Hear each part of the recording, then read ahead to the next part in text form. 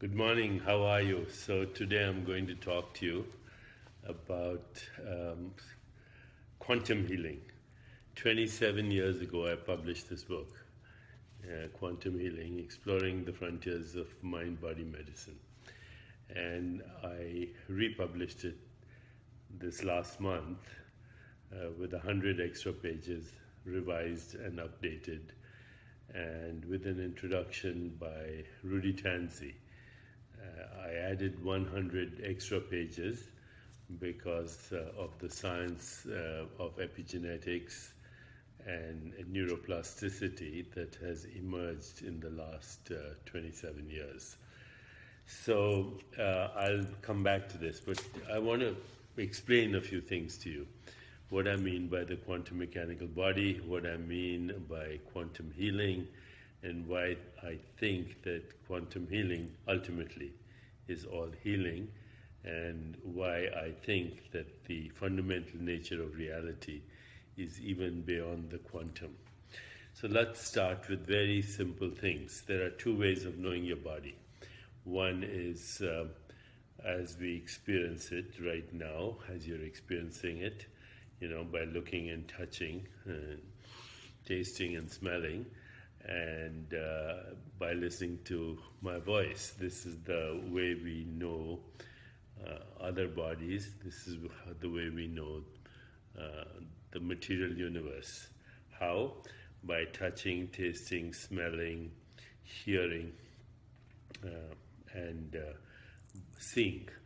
Now, of course, we do not know the fundamental basis of how this perception occurs because in our brains all that happens is electrochemical reactions um, that correspond to every experience. So, whether you're experiencing a mental event such as imagining a beautiful sunset on the ocean, or whether you're seeing a physical object like that uh, statue of the elephant behind my back, uh, all that happens in your brain is electrochemistry. But you actually experience color and form and taste and smell and a three dimensional universe evolving in time. Nobody knows how that happens. It's called the hard problem of consciousness. Nevertheless, one way of experiencing the body is as a physical entity. This is solid, it's made up of flesh uh, which is muscle. It's made of bone, it's made of skin, hair, sinews, tendons. You see, there's a nose, eyes, ears, etc. So, this is the physical body. But when you start to look at what this is made of, it becomes obvious that your physical body, uh, whether it's uh, um, muscle or bone, or sinew or fat is made of chemicals, biochemicals.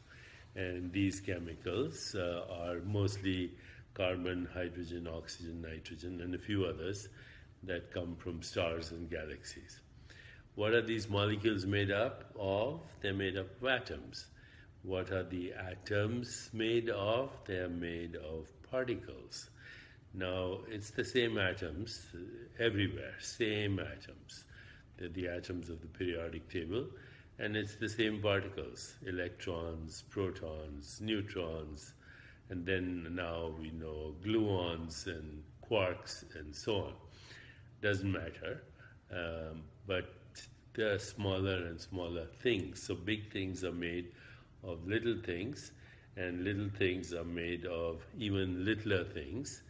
And then when you get to the most fundamental level, these particles turn into waves. And waves are not made of things, they are made of probabilities. And where are they coming from? They're coming from a dimensionless, infinite, formless void. So, everything in the universe ultimately is made out of nothing the great Sufi poet uh, Rumi said, We come spinning out of nothingness, scattering stars like dust. Look at these worlds, spinning out of nothingness. This is you. Okay, so fundamental reality, therefore, is formless and dimensionless.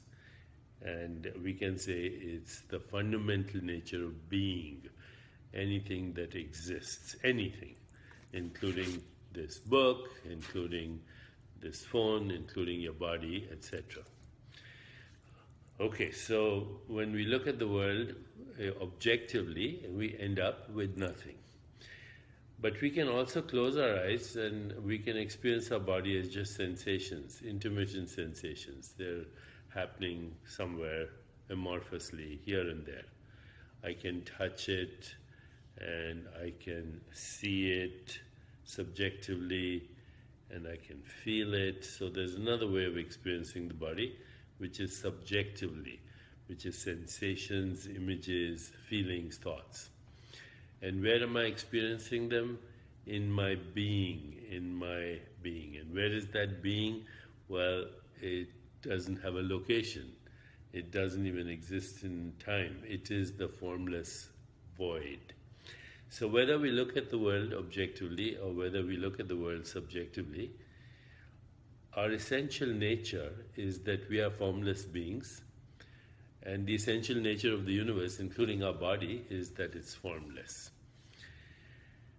This is what I meant when I wrote the book Quantum Healing that the formless being of the individual is what we call soul spirit, and the formless being of the cosmos is what we call consciousness or cosmic consciousness. But the ultimate ground of all experience is the same. So you and I are part of a formless cosmic being that has taken this name and this form. And how that formless being resonates is the image that we experience as the body and the universe. And what is quantum healing? It is learning to shift your consciousness so you can shift your biology. I know this was very controversial when I wrote the book, and it uh, created a lot of criticism. But now, uh, as I said, 27 years later, we're seeing very clearly that states of consciousness determine states of biology. Anger, hostility, guilt, shame, mistrust, jealousy have their own biology, as do love, compassion, joy, equanimity, empathy they have a different biology. But what I mean by quantum healing is even beyond that. You know, when we go beyond all these states of consciousness and we end up with pure consciousness, well, that's the field of infinite possibilities, infinite creativity, infinite correlation. That's the field that's imbued with intention, and we ground ourselves in that being. All happens spontaneously. There's no resistance, there's no anticipation in every moment there is spontaneous creativity, spontaneous intelligence flowing out through body, mind, and universe. And in that moment, you are supported by infinite energy, infinite power, infinite uh, creativity, and uh, you're actually one with cosmic being. The word healing comes from the word whole. So, all healing is the return of the memory of wholeness. And what is that wholeness?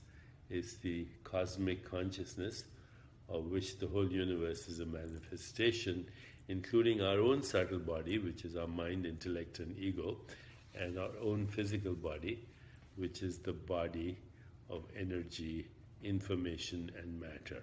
This is a very brief summary but as I said, I've had to revise this book because uh, uh, there's a lot of information, and I've had to add, have, have had to add 100 extra pages validating what I said uh, 27 years ago. Whether you read the book or not is not really important because um, I will continue to explain the deeper layers of reality in these sessions. Meanwhile, I hope you're getting ready for the holidays and ready for great celebration. I may take a couple of days off also from these posts. Thank you and God bless. Cheers.